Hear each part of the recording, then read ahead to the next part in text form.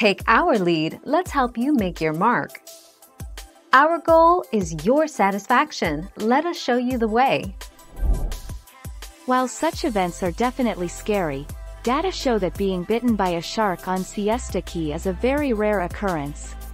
Sarasota County has had just seven unprovoked shark attacks in the past 138 years, according to the Florida Museum's International Shark Attack File, and Manatee County has had 4.16 December 2020.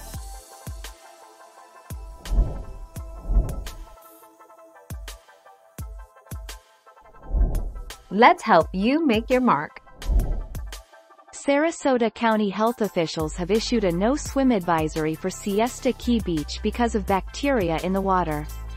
The beach remains open, though swimming and other water recreation is not recommended, because it could make people ill.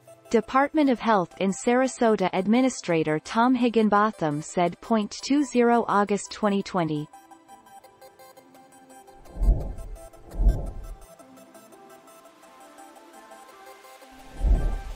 Take our lead. Is it safe? Siesta Key is as safe as can be. The crime rate is 65% lower than the national average, and the island is small. We have tight relationships with many of our neighbors and the locals are famous for their friendliness.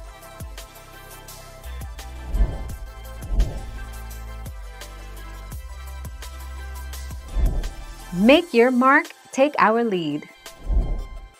Invite a friend to subscribe to free Sarasota newsletters and real-time email alerts.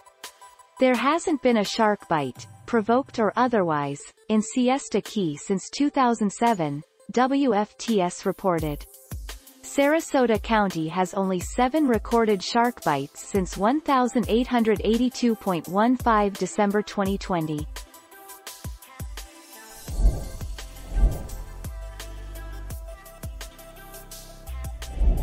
Make your mark, take our lead.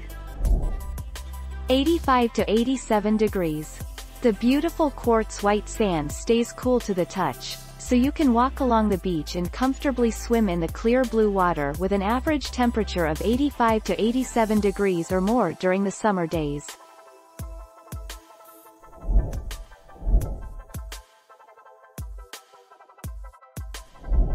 Let's help you make your mark.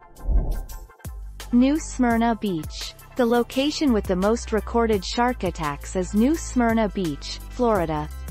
Developed nations such as the United States, Australia and, to some extent, South Africa, facilitate more thorough documentation of shark attacks on humans than developing coastal nations.